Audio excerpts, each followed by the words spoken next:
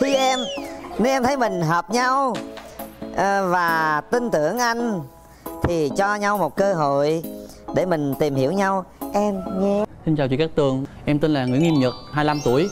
Dạ, quê em ở Nha Trang, Khánh Hòa. Em đang sinh sống và làm việc tại Bình Dương. Công việc hiện tại của em là kỹ thuật viên X quang làm trong ờ, bệnh viện trung tâm thị xã Tân Nguyên, Bình Dương ạ. à tức là em là kỹ thuật viên chụp x quang đó đúng không Dạ, đúng rồi. khi người ta úp mặt vô tường thì chụp đó đúng không Dạ đúng ạ.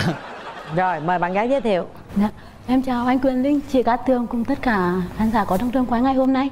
Em là Thúy, 25 tuổi, đến từ Hà Tĩnh, hiện đang sinh sống và làm việc ở Bình Dương ạ. Bình Dương Em làm công việc gì? Dạ, em là dược sĩ ạ. Rung quá rung quá bình tĩnh Một tràng pháo tay cho bạn gái à một người chụp x quang một người là dược sĩ hợp lý Ở Bình Dương hai người hỏi thăm nhau coi có gần nhau không? Em ở đâu em? Dạ, em ở Thuận An, Bình Dương ạ. Ờ, anh ở Tân Nguyên, chắc cũng ờ, không xa lắm. Rồi bây giờ điểm mạnh với điểm yếu của mình đi Ưu điểm của em là, à, là người biết lắng nghe, chia sẻ, biết quan tâm người khác. Em thích trẻ con và về nữ công gia chảnh hay là thiếu thua may vá thì em đều biết một ít ạ. À rồi Dạ, điểm điểm yếu thì em hay run tình em ngài đám đông em ít nói quá anh em bảo em là ờ, may thì mùa đông nói một tiếng mùa hè nói một tiếng chán lắm Cổ rung lắm Cơ mặt tay chân rung hết trơn rồi đó à, Điểm mạnh điểm yếu của bạn trai là gì? Tính tình là em vui vẻ, hòa đồng, và hài hước, tự lập. Biết một chút về nấu ăn, ờ, biết ờ, một chút về hát và nhảy múa. Em thì thích ờ, đi ăn cùng bạn bè. Đặc biệt là em rất ăn nhiều nếu mà trong lúc đói hoặc là thèm ăn gì đó thì em có thể ăn rất là nhiều ví dụ như em có thể ăn từ 5 đến hơn năm tiếng cơm điểm yếu là gì? Điểm yếu là gì? em tự nhận mình là một người hơi nóng tính. Lúc mà người ta có thể nói xấu mình hoặc là làm mình khó chịu hoặc là những công việc áp lực căng thẳng mình làm mình khó chịu thì em cũng kiềm chế. Nhưng mà khi mà lúc đó em có ờ, bộc lộ ra cho người ta biết là mình khó chịu như thế nào. Em gái em trải qua bao nhiêu mối tình rồi? dạ em chính thức em chưa có mối tình nào. Dễ thương vậy mà sao vậy? Ừ, lúc còn đi học thì bố mẹ em không cho yêu. À. Dạ. còn khi đi làm rồi thì do là môi trường công việc của em toàn là gái không có trai. Chưa có một mối tình nào vậy là chưa nắm tay chưa hôn gì hết đúng không em? Dạ chưa. Chưa luôn. còn bạn mấy mối tình rồi? Dạ em thì trải qua hai mối tình.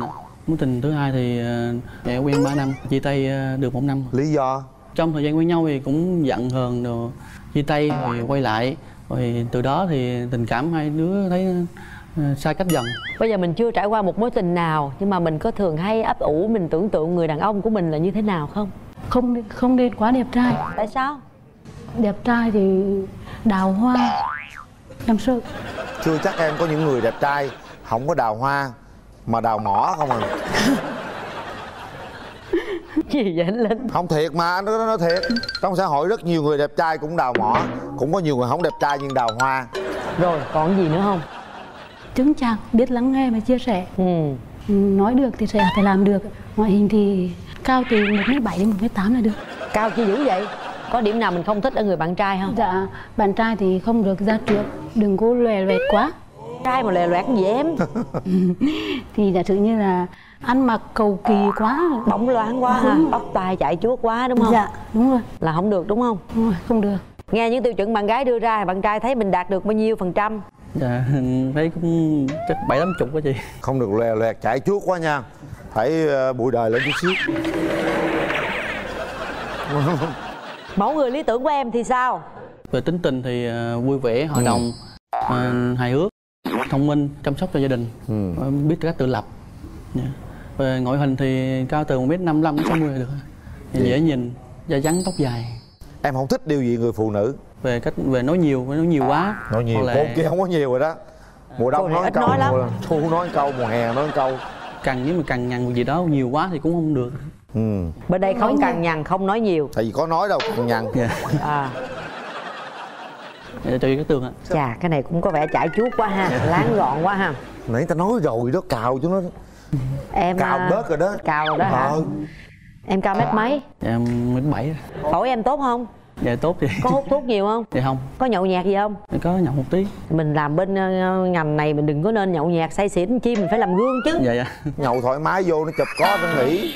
Rồi em có yêu cầu gì về phía nhà gái không? Không có gì cái gì sao cũng được hết à?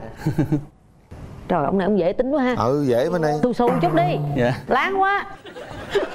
Dễ thương có cái ba lúng đồng tiền nhỏ nhỏ. Hiện là được chị. Được cũng anh bên ngang đây phong độ ờ, lắm. anh qua anh coi coi ờ, bạn đàn gái thế nào nha. Em Ồ, chào em chào anh. gái. Dạ. Giọng nói dễ thương quá ha. Dạ. Về bình dương ở xong rồi à, vô bệnh viện phụ anh kia được không? Anh xin bên cho em tổng bên luôn bán thuốc bên chụp hình. em bán thuộc anh à bán thuốc. không? Dạ. nhưng mà xin thế này tới giờ chứ người yêu lạ thiệt nha. Bố mẹ em không cho. Giờ bố mẹ cho chưa? Giờ bố mẹ bắt đi bắt đi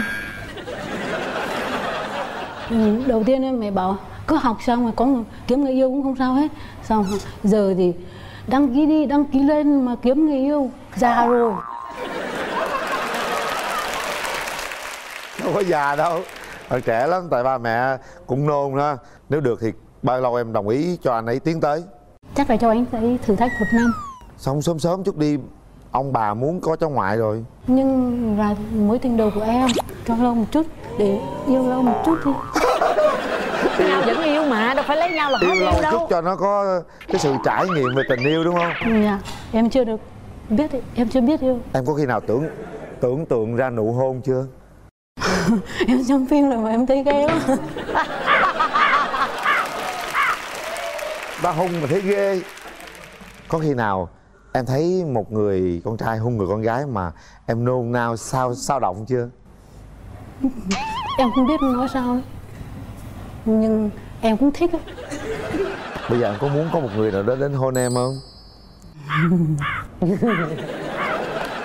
Phải là người yêu mình thích cũng cho hôn chứ. Trời xe xe lạnh ha.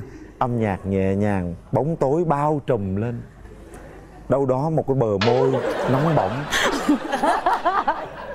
Nhỏ nổi da Sao gà rồi kìa. Lãng mạn quá lãng mạn quá trời. Bịt mặt anh mới tả tới đó thôi mà cổ thấy lãng mạn rồi đó. Đoạn sau để hồi em làm nha. Dạ hôm nay mình đi với ai em? Dạ em đi với sư phụ của em rồi chị họ với hai người bạn của em nữa. Sư phụ? Chào đệ tử. Sao tình hình sư phụ sao mà để cho lính tới giờ còn không, không biết hung là cái gì? Em còn chưa biết nó chi đệ tử. Hèn chi nó gọi là sư phụ sư phụ là chỗ đó đó chỗ anh đó Linh. đúng rồi Dạ. hiểu lầm. Thì nãy giờ em ngồi dưới đây quan sát thấy thì em cũng được à, hai em thì thấy cũng à, xứng. Sự lựa chọn của hai em thì tùy. À, chị cũng hy vọng rằng hai em sẽ tạo điều kiện cho nhau để à, có một cái cơ hội tìm hiểu nhau hơn. Rồi cảm ơn sư phụ. Em à, có đi với người nhà em là ai à, không? em đi với bạn bè thân và thiết và đồng nghiệp thôi Dạ chào anh Quyền Linh và chào chị Cát Tường Chào quý vị khán giả. Thấy bạn gái ở đây cũng rất là xinh. Thì à, mong hai bạn cũng cho à, cơ hội nhau để bấm nút. Rồi cảm ơn bạn nhiều. Cố gắng ngày hôm nay phải có nụ hôn đầu đời nhé em. Hôm nay hy vọng có hai nụ hôn đầu đời. À, anh có món quà tặng em. Em cảm ơn. Quan điểm tình yêu của em là gì? Quan điểm của em là càng đơn giản thì càng hạnh phúc. Ừ, này giống anh. Cái hạnh phúc á, nó không thể nào mà mãi mãi được mình có giận hờn hay là mâu thuẫn gì đó thì mình nghĩ đến những hạnh phúc đó mình cảm thông và chia sẻ với nhau được. Thì lúc đó mọi chuyện sẽ qua. Em cũng nghĩ vậy. Em có gì nhận xét về anh không? Em thấy anh cũng hiên. Cũng ít nói giống em. Em cũng biết nói ra nhưng mà cũng khó nhiều cũng khó diễn tả được những lời mình nói á. Bình thường thì em cũng không có ít nói. Khi nào mà gặp bạn bè của em thì em nói nhiều. Anh Còn- cũng vậy chỉ có người quen em nói nhiều. Em có thích ờ, đi xem phim hay là ăn uống gì không? Em thích xem đá bóng. Anh là cầu thủ bóng đá này em. Nghiệp dư thôi. À, em thích những người mà biết biết đá bóng. À, anh đã tiền đào á. Mẹ, ờ, hôm nào anh mà đi thì em sẽ đi phục vụ cho anh. À, lúc á nói chung là em mê bóng. Chịu em rồi đó. Chịu rồi đó nha có đầu tư ghê luôn nha. Dễ thương quá. Nhảy là đã đặc biệt rồi còn có đoạn đưa đưa với tờ giấy Ừ, dễ nữa thương quá. Khi em nếu em thấy mình hợp nhau ờ, và tin tưởng anh thì cho nhau một cơ hội để mình tìm hiểu nhau. Em nhé. Cảm nhận của em như thế nào về à, phần trình diễn của anh ấy tặng cho em vừa rồi? Cái này cái này ai em giữ đi em giữ nha. Làm kỷ niệm em. Em làm giữ làm mối kỷ tình niệm. đầu đó đó là sưu tập là những kỷ niệm. Có duyên lắm. Rung động. Rung động lần đầu tiên có người làm về về em luôn. À. Em cảm ơn anh. Nếu mà em cảm thấy ờ, mình rung động trước anh hoặc là ờ, tin tưởng của anh và mấy chúng mình hợp nhau thì ờ, hãy cho cho nhau cơ hội để tìm hiểu ờ, để hẹn hò với nhau. Hết thời gian. Dễ thương quá. Hy vọng rằng mối tình đầu sẽ xuất hiện. Nụ hôn đầu tiên sẽ xuất hiện đưa ra quyết định của mình sau 3 tiếng đếm và chịu trách nhiệm với quyết định của mình. Một. Hãy bấm bằng cả trái tim nha. Bấm bằng cái sự rung động của con tim. Hai. Ba. Hết thời gian. Wow. Tuyệt vời. Nào hãy nắm tay nhau. Cái nắm tay đầu tiên đấy và một nụ hôn sẽ xuất hiện.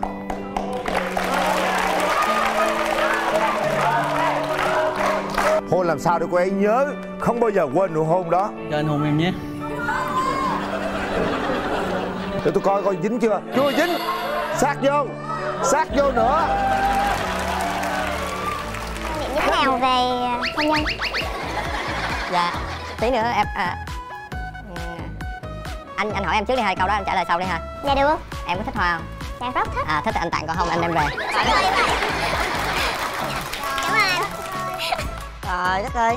Đó cô ráng cô bắt tâm lý đi nha tôi thua rồi đó. Dạ. Hôn nhân gia đình á thì mình nghĩ ờ, cái mục đích cuối cùng á là nó là hạnh phúc. Mà mình nghĩ cái hạnh phúc á là là sự phấn đấu sự nỗ lực.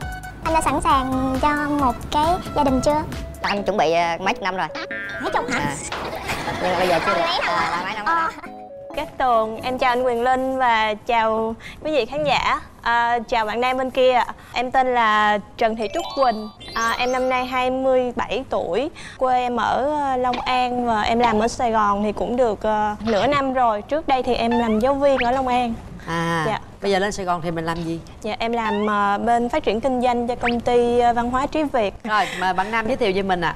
Mình tên là Hùng, mình thì quê ở Đồng Nai Người Đồng Nai á, được cái là xấu cha nhưng mà tốt bụng ạ. Làm nghề gì? Dạ em làm rửa xe. Bao nhiêu tuổi rồi hùng? Dạ em uh, 32 làm nghề rửa xe? Dạ. Tức là bạn rửa cho chính mình hay là bạn làm cho công ty hay là làm cho người Dạ em làm cho mình. À tức là mở tiệm rửa xe. Dạ. Mình có đứng rửa trực tiếp cho khách luôn không bạn? Là Dạ lâu lâu cũng có chứ thường là nhân viên.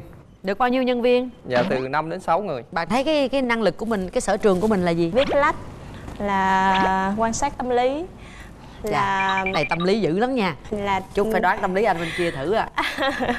Dạ phải gặp mặt trước đã. À, rồi um, hát. Nói chung là em biết mọi thứ cũng nhiều chỉ có một thứ em không biết đó là thể thao em không giỏi.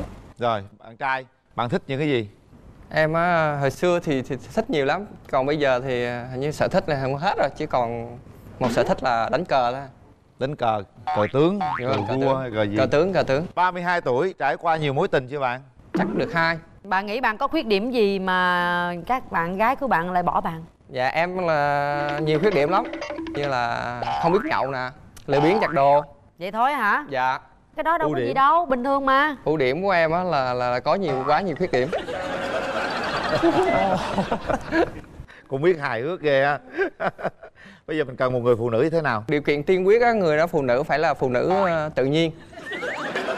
Có nghĩa là không không chuyển đổi giới tính á. Mà mẫu người em ờ, chọn á là nó nằm trong một câu gồm bốn cụm từ là xinh xinh, thông minh, trung tình và biết sống vì chúng sinh. Biết sống vì cái gì? Chúng sinh.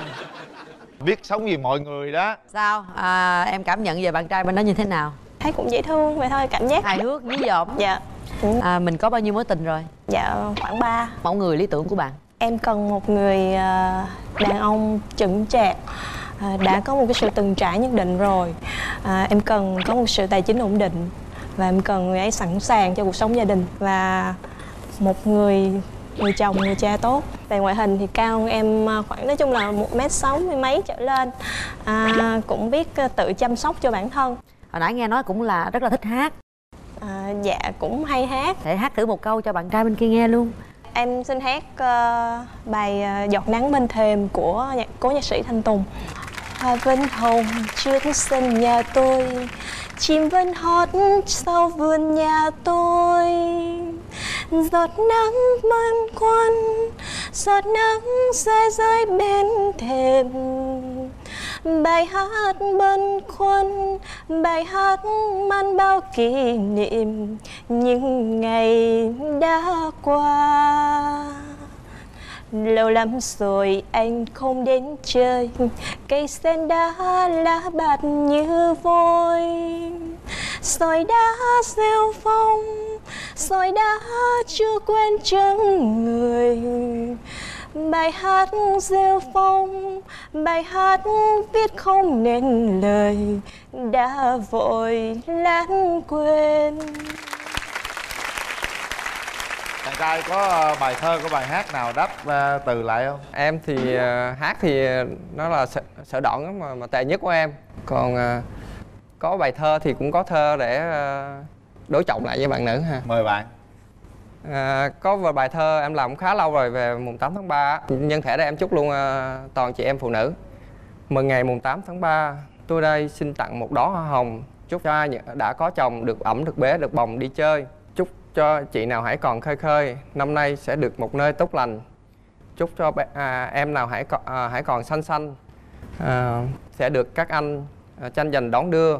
Chúc cho bà bà giá vẫn chưa à, năm nay sẽ được đón đưa về nhà. Chúc cho các bác đã già vui cùng con cháu cả nhà yên vui. Xin hết.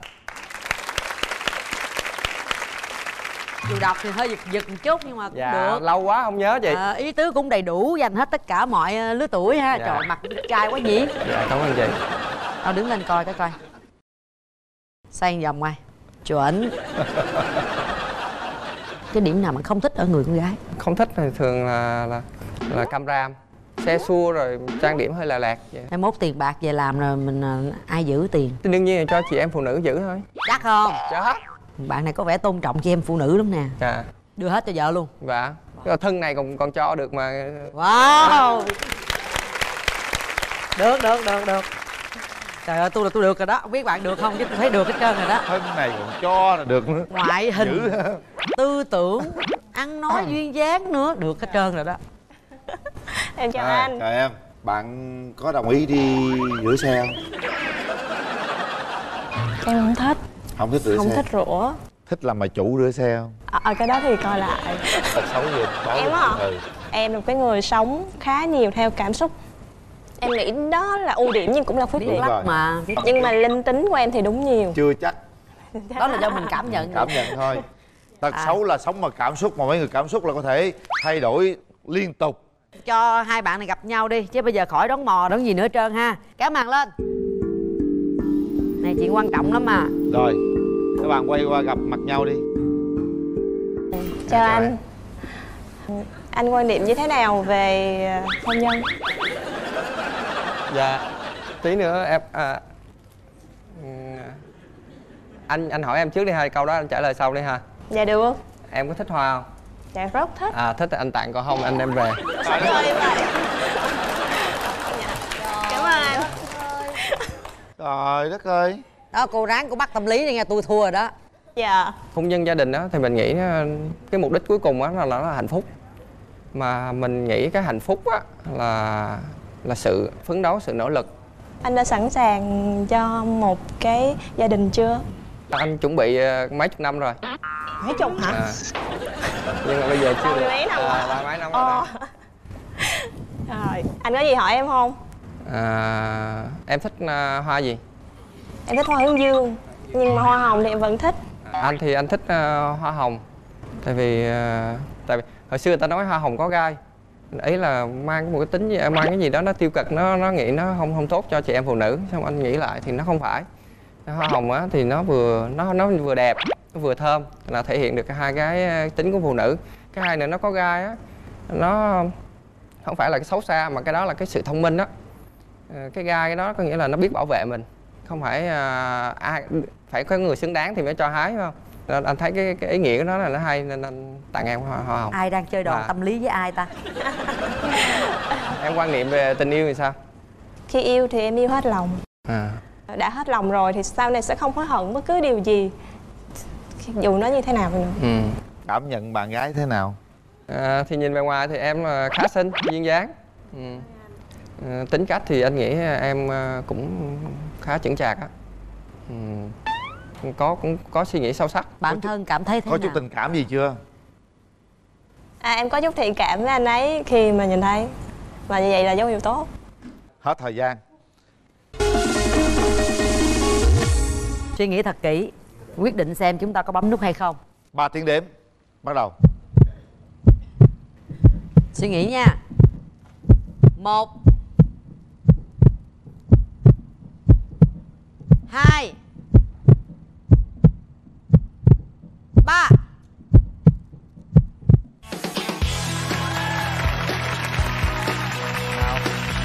Chúc mừng hai bạn. Và tôi xin tặng những chiếc vé xem phim để các bạn có những cơ hội tìm hiểu nhau kỹ hơn để tìm hiểu à, một cái điều gì đó nó xa hơn nữa. Cặp này tôi có cảm giác là rất phù hợp với nhau đấy. Hy vọng là sẽ sớm nhận được tin mừng từ các bạn. Xin tặng hai bạn nước xịt thơm miệng thảo dược relax. Cảm ơn chị. Cảm ơn anh. Một cặp loa để chúng ta cùng nghe nhạc đó là Soundmark i5 nắm tay nhau cái đi hai đúng bạn. rồi. Nào. rung. Nắm cho nó hết rung. Đấy. Rung dữ vậy hả? Có rung. Có rung là có yêu